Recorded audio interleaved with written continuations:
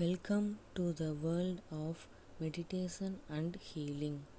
Trust in the power of your body and mind to heal and restore balance.